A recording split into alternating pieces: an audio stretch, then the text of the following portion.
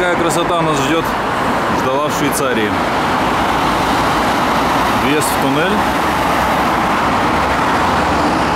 Там Альпы. Это нереально красивые горы.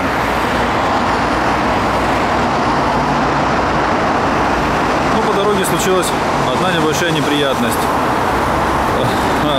Закончилось масло в двигателе. Но, слава богу, ребята в Ямахе в Москве оказались некомпетентными. Сказали, что у меня 5 литров масла, поэтому я на 1 литр масла больше взял. Вот. Одну канистру я благополучно вылил. Вот такого масла 7100 10 В40. Все, она уже пустая. И вторая канистра полная стоит. Масло, которое я брал для трансмиссии, оно мне, слава богу, пока не понадобилось. Сальник, как видите, не бежит, обод сухой и сапун чистый, также сухой. Вот, немного подъедает резину. Надо будет, ух ты, уже практически ее менять.